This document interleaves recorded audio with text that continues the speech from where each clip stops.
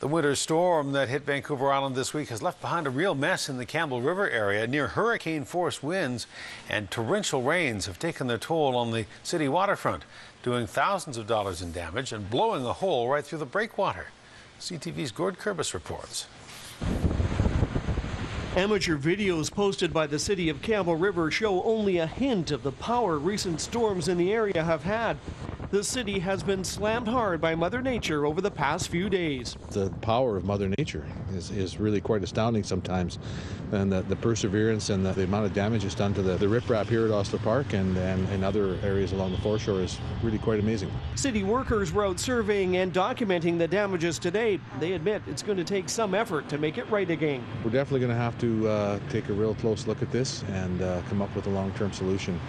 Uh, this is uh, obviously a park that uh, is very important to the community, so we're going to have to come up with a solution here that uh, will survive the long term. The foreshore area in front of Robert Ostler Park was the hardest hit. Today, the popular walkway was an obstacle course for anyone out trying to enjoy it. It's pretty bad.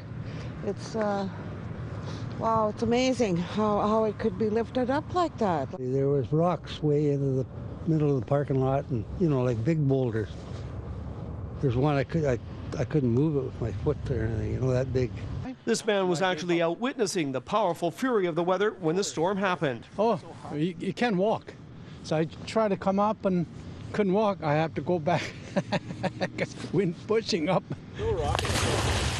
At the nearby privately owned Coast Marina, divers are hitting the water for today's scuba lessons. They're learning to make underwater repairs to holes in fish nets. Behind them, they could easily get a lesson in how to repair holes in a breakwater. It's the first time I've seen it punch a hole in the breakwater, that's for sure.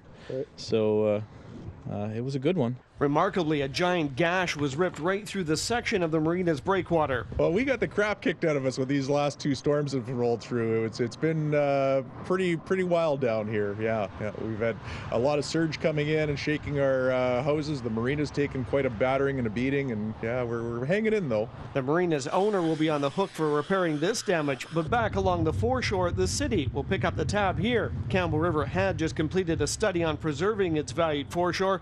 The city now realizes giant riprap like this is no match for Mother Nature.